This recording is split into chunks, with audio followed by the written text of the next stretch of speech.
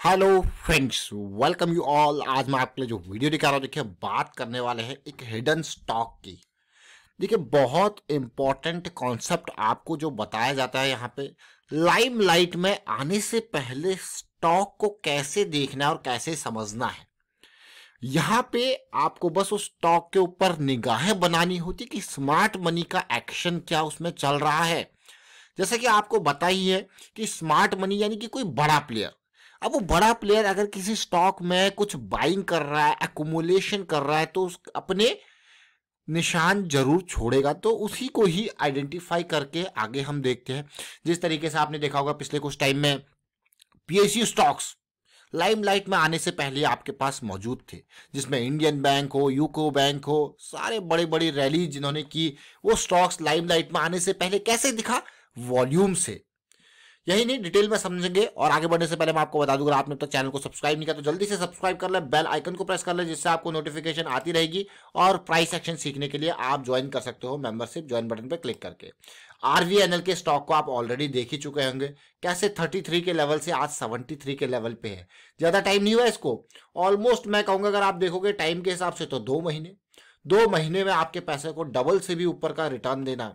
RBNL से देखो। और ये स्टॉक रडार में कैसे आए? मात्र 33 के लेवल से। क्यों? क्योंकि पॉजिटिव मोमेंटम देखने को मिला था और इसी कारणवश ये स्टॉक रडार में आ गया था। ये लेवल था, देखिए। तो चलिए डिटेल में समझते हैं। आज बात करने वाले हैं रैलीज इंडिया की। रैलीज इंडिया मात्र चार हज़ार करोड़ का मार्केट कैपिटलाइजेशन चार से पाँच हज़ार करोड़ के बीच। और इसका मेजर जो मैं कहूँगा सेगमेंट है, वो एग्रोकेमिकल से रिलेटेड है। आज से नहीं टाटा की ये कंपनी है। ध्यान दें टाटा ग्रुप की कंपनी है, बहुत पुराना इतिहास है तो समझेंगे क्यों ये रडार में आया। ये इसका वीकली चार्ट है।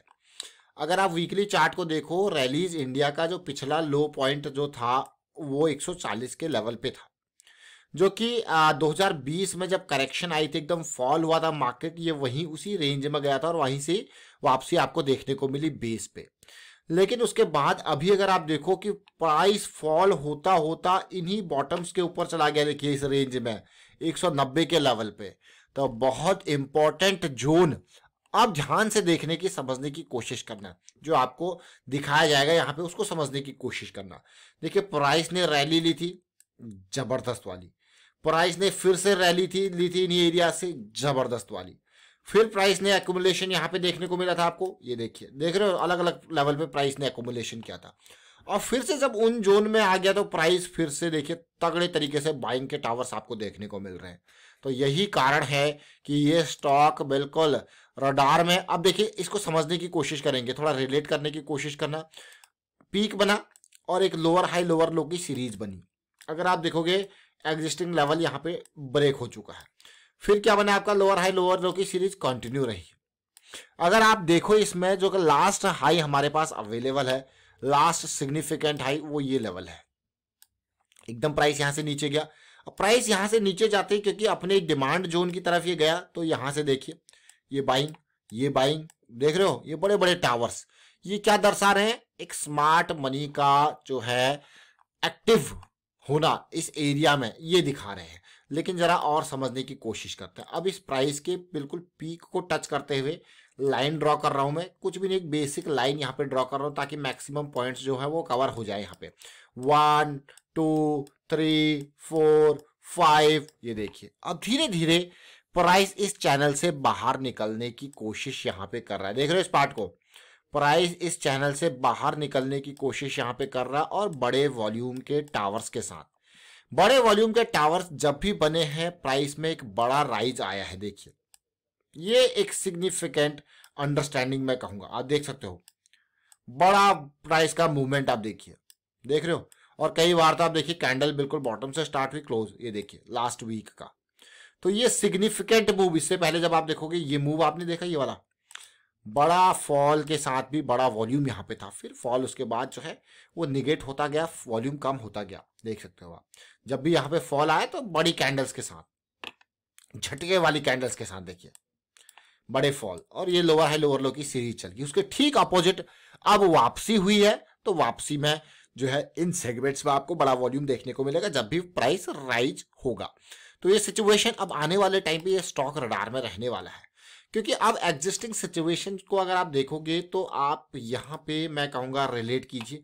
अब तक तो लोअर लो लोअर हाई की सीरीज़ चल ही रही थी। अब जो है वापसी आपको देखने को मिल रही है। हायर हायर लो की सीरीज़ आर एस आई पे भी बनते हुए। लेकिन इंपॉर्टेंट है ये अगर रेंज शिफ्ट कर ले यहाँ से तो और भी अच्छी सिचुएशन आ जाएगी। क्यों? क्योंकि हम यहाँ पे अभी बियरिस जोन में है तो एक बुलिश टेरिटरी में प्रवेश कर जाएँगे और एमएसीडी भी सेंट्रल लाइन से ऊपर आ जाएगा। तो वीकली के टाइम फ्रेम पे एक पॉजिटिविटी रैलीज इंडिया में देखने को मिल सकती है। यहाँ पे इससे ऊपर। अब देखिए, अब चलेंगे और छोटे टाइम फ्रेम पे और उसको रिलेट करने की कोशिश करेंगे। छोटे टाइम फ्रेम पे मुझे अच्छी बात ये लगी, देखिए प्राइस 200 हंड्रेड हमारे लिए एक बहुत इंपॉर्टेंट पार्ट होता है।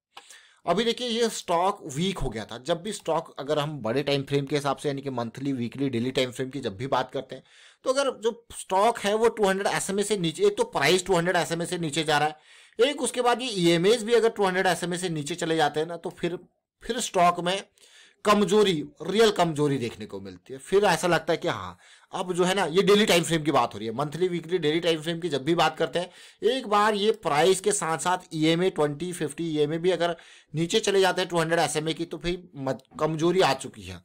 अब तभी इसमें बुलिस फोर्स एक्टिव जो है, वो आपको देखने को मिलेगा। जब ये सिचुएशन जो यहाँ पे बनी है, वो रिवर्स होती हुई दिखे, ये देखिए।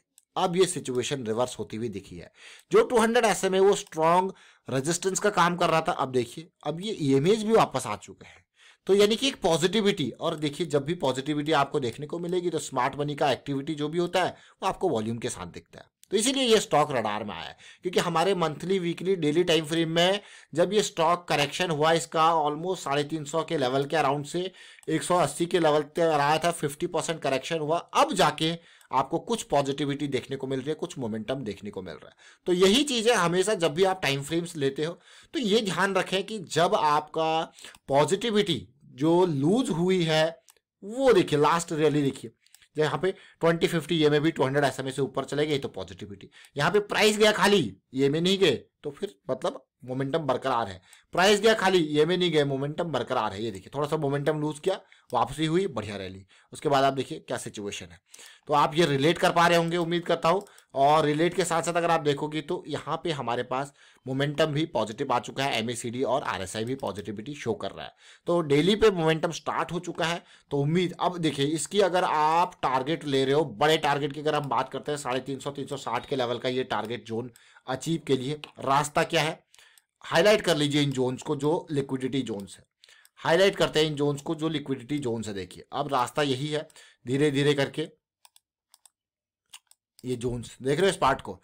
यही हायर है हायर लो की सीरीज़ जो कि फ्रैक्टल नेचर ऑफ़ मार्केट हमें और अपॉर्चुनिटी देगा छोटे time frame wise wind up करता है इस वीडियो को और उम्मीद करता हूँ आप समझ ज़रूर पा रहे होंगे रिलेट ज़रूर कर पा रहे होंगे रैलीज इंडिया का स्टॉक आपके सामने आया।